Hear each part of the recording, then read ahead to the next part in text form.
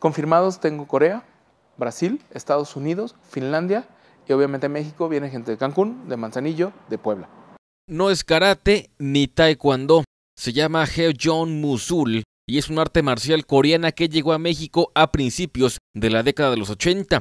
Y en unos días más, Guadalajara recibirá a los mejores exponentes en el campeonato mundial. Pero, ¿sabe usted diferenciar esta disciplina de otras? ¿Y cuál es la razón principal de su práctica? El experto Gustavo Valdés no lo explica. Se divide por grados, por edad, por peso, ¿sí? Y en cintas de colores, de cinta blanca, cinta café, este, hay tres actividades en las que pueden formar parte, lo que es forma, que es una técnica de manos libres, este, combate y defensa personal. La defensa personal es una coreografía organizada previa, o sea, no, no es innovar, sino tú armas tu, tu defensa personal y la presentas vemos la fluidez, la energía, la realidad de la técnica, porque de repente vemos algunas demostraciones que hacen un mortal y eso, y la verdad es que en la calle nunca vas a hacer un mortal para, para zafarte, ¿no? Entonces es muy, muy poco probable que pase eso. Pero no solo hay dojos en los que se practica el Hejon Musul, también existen encuentros fuera del estado en los que se busca el crecimiento de alumnos y maestros. Tenemos actividades aquí en, Guadalajara, en, en, los estados.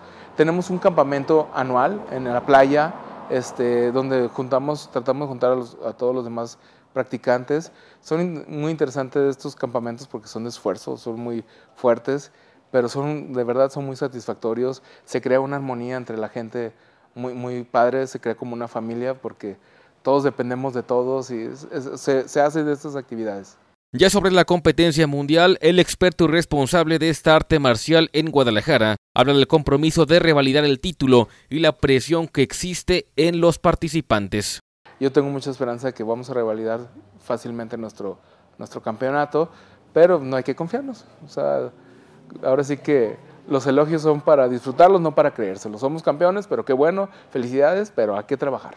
El Campeonato Mundial de Hejon Musul se llevará a cabo los días 25 y 26 de noviembre en el gimnasio de la Universidad Autónoma de Guadalajara. La entrada es gratuita y Jalisco tendrá participación con la actual monarca femenil, Miriam Velázquez.